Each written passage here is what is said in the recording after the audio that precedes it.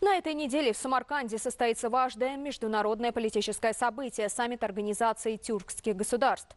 Данное мероприятие высокого уровня является первым саммитом после изменения названия организации на встрече в Стамбуле в 2021 году.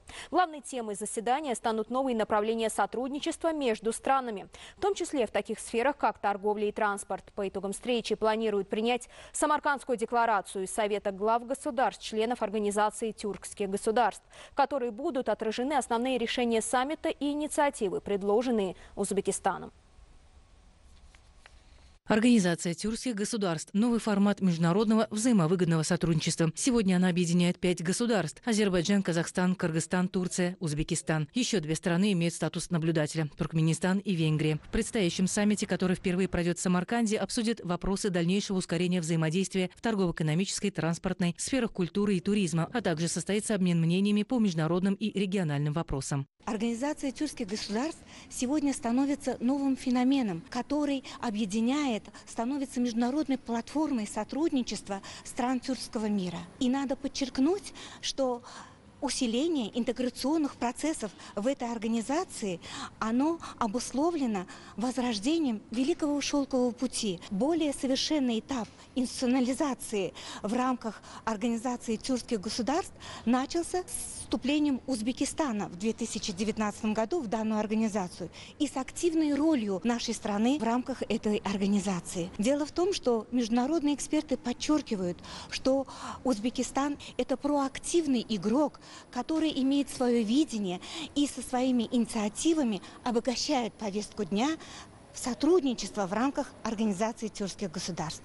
Многогранные цели и направления сотрудничества ОТГ были сформулированы и в принятом в прошлом году стратегическом документе «Видение Тюркского мира 2040», который обозначил комплекс мер, а именно были сформированы 20 приоритетных направлений сотрудничества, включая сферу торговли, инвестиций, инноваций, сферу энергетики, сельского хозяйства, туризма и туристической индустрии, а также гуманитарной сферы, сфере молодежной политики, спорта, образования, науки и так далее. И поэтому мы ожидаем, что саммит будет важным мостом для установления реальных продвижек, реальных проектов, инициатив – направленных на усиление данного вида сотрудничества.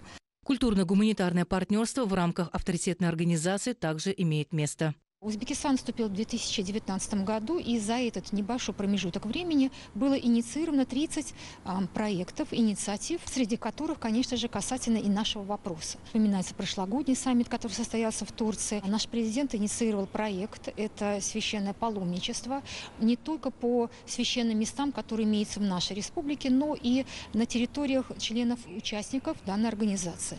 А также а, было предложено учредить орден имени Алишера Наваи в рамках а, организации за вклад в развитие тюркской культуры. В 2020 году город Хива, наш город, он стал столицей тюркской культуры. В 2021 году Какан стал первой туристической столицей тюркского мира. Ну и вот в этом году в Бухаре прошел четвертый форум молодых лидеров тюркского мира.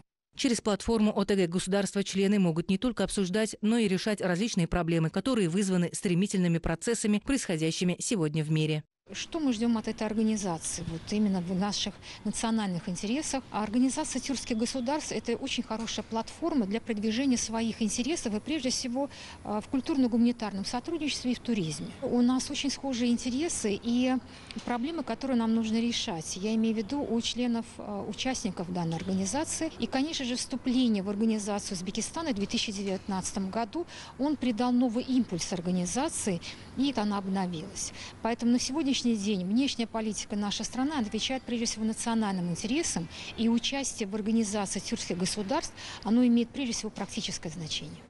В предстоящем саммите планируется подписать свыше 10 документов. В основном же декларации Самаркандского саммита Организации тюркских государств будут воплощены позиции государств-членов по наиболее важным региональным и глобальным проблемам. Также намечено определить совместные подходы по обеспечению региональной стабильности, безопасности и устойчивого экономического развития, укреплению транспортных связей, углублению культурного диалога.